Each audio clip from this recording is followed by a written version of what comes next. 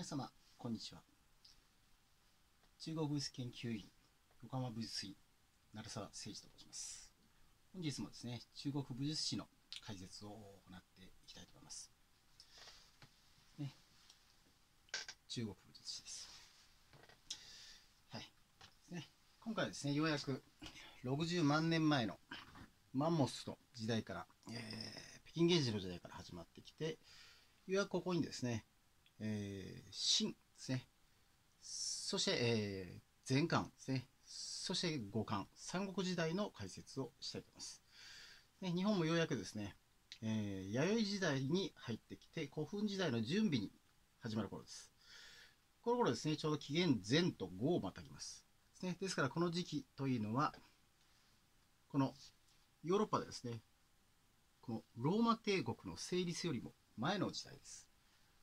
ですからやはり中国の歴史というのもですね、非常に長く、えー、ここまで来るのにも非常に大きなプロセスを経てやってきました。では、今日の、えー、解説です。本日の解説は、紀元前から紀元後を経てですね、秦、前漢、そして五漢の前に新しいという字を書いた秦というのが一度あります。それ五漢、三国の時代になります。はい。では最初はですね、えー、有名な始皇帝ですね。秦王政。始皇帝を名乗ります。で、これは初めて皇帝という名前を使い、中国を統一する。ですね。えー、それまでのですね、長かった戦国時代七湯の清という国を最後に滅ぼします。そこで、えー、この秦という国を建てるんですね。はい。ですが、これはですね、15年で滅亡してしまいます。えー、秦王朝というのはですね、えー、やはり、はい、大事なあものとしてはですね、えー、資料として有名なものというのは、兵馬俑です。ですね。秦の始皇帝の、はい、西安にある、ね、有名なものですね。ここにはですね、武士のこうした有名な座った形や、こうしたたくさんの、えー、一緒にですね、埋められたあ兵馬俑ですね、があるんですね。はい。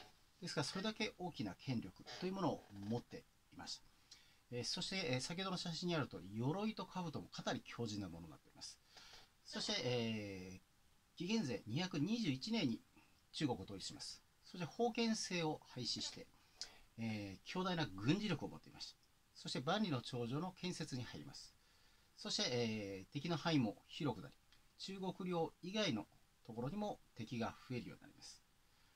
まあ、その中で距離も長くですね、兵士の移動に不満が多く、えー、各地で反乱が起こりですね。ですから15年で滅亡してしまいます。そして、えー、死の滅亡を受けまして、次に、はい、現れるのが有名な宋ですね。の項と劉邦です。ね、これは202年に、えー、統一します。ね、項が、ね、破れてしまうんですね。そして、えー、前漢という形で、これは前漢というふうに書きますが、中国の場合は西安ね。今、長安、昔ですから、えー、西漢というふうに呼んでいます。そして西漢ですね、えー、を建てます。そして、えー、その中でですね、えー、後にですね、この前漢というのもですね、一回前と後というふうになっていると思いますが、間に秦という新しい、これ王毛というね、これは部下なんですが、これは散奪するんですね。そして、えー、ここで初めて紀元後になります。ね、キリストが生まれた後ですね、23年に滅亡してしまいます。そして、えー、この次に五漢ですね。五漢は中国語では東漢というふうに言います。落葉なんですね。えー、その頃は、えー、だんだん三国志でも有名なんですね。東卓ですね、ができます。えー、まあ、この三国志の時代に入ってくると、もうですね、かなり武器の質が向上するんですね。その武器の質というのはですね、もうほぼ、今の時代に知られるような形の、えー、こうした長い武器ですね。長い武器です。えー、特にこうした撃ですね。大刀ですね。ねそうしたあ複合された武器というものが出てまいります。はい。でそれだけでも随分進化をしたということがわかります。そしてですね、えー、その後にですね、えー、五感というものはやはり、えー、滅びていき、有名な三国志の時代ですね、義の曹操、呉の孫権、蜀の劉備という時代に入ります。その中でですね、はい。まあ、曹操の時代というふうになりますと、これは、安徽省白州市曹操の故郷なんですね。ここはですね、まあ、曹操の有名な像が建っています。でここにですね、曹操一族のお墓があります。でここでご金銀の練習もしております。その中にですね、ここはですね、和との交流があるということを書いております。ですから中国の方もだんだんこの三国の時代になってくるとですね、日本でもとても有名な義士和人伝ですね。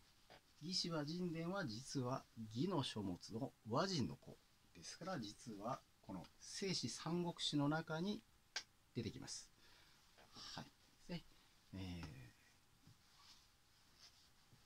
そこでですね、日本ともだんだん関連が深くなってまいります。その中で、えー、だんだん日本と関係するのは、やはり、邪馬台国の位置で日本史が変わる。そういうふうに言われております。でまあ、まあ、大和市と九州、近畿説とあるんですが、まあ私はですね、九州の、九州説を取っております。そして、曹操のお墓の中にですね、有名なこの、玉位というのが出てまいります。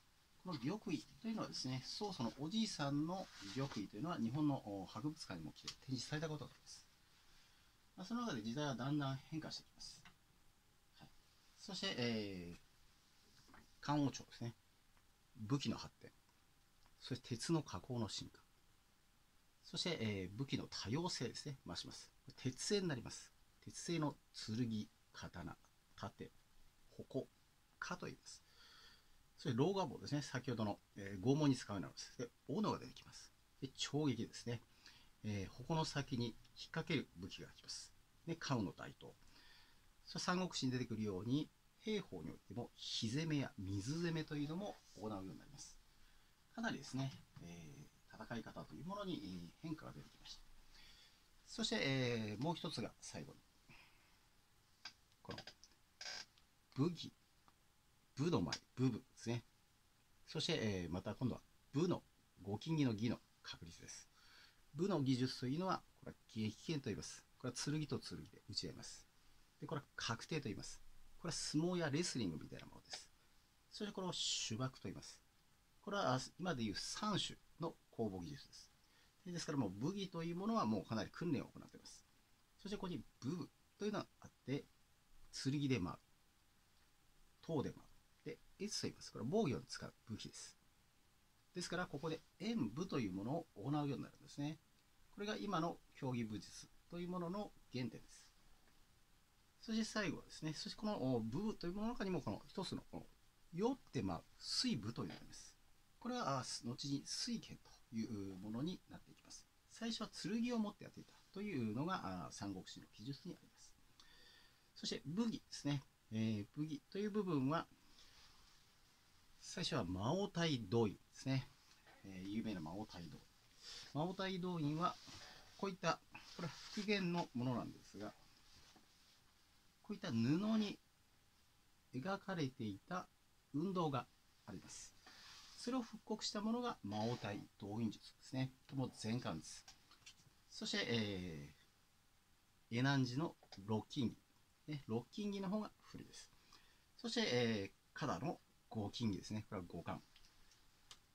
はい。合金ギは、えー、先ほどのこの白州ですね。えー、ここに